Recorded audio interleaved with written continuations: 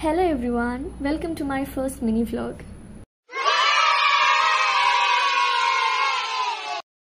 So in this vlog, you'll see me going to Big Bazaar to buy a glass bottle. Even though there were uh, very good discounts and buy one get one free offer, I did not like the bottle because it had some designs over it and I was looking for a plain one. Okay, that's fine because I have a very good hack. So after this mini disappointment, I had my all-time favorite to just cheer myself up and my day ended with this beautiful dusky sky.